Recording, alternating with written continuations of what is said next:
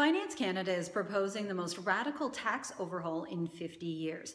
The Peterborough Chamber of Commerce, with around 900 members, many of them small businesses, around 93%, is very concerned about the impact this legislation will have, especially around new taxes on income investment, as well as the compensation for family run businesses and tough new rules in that area.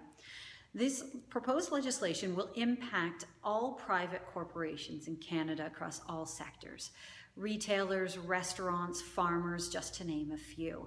We are concerned that the proposed legislation will stall business growth in Canada and punish legitimate businesses. We are asking our members to contact through email or call their MP to explain the large impact that this will have and how this will hurt families and businesses in our communities. You can find more through the link above.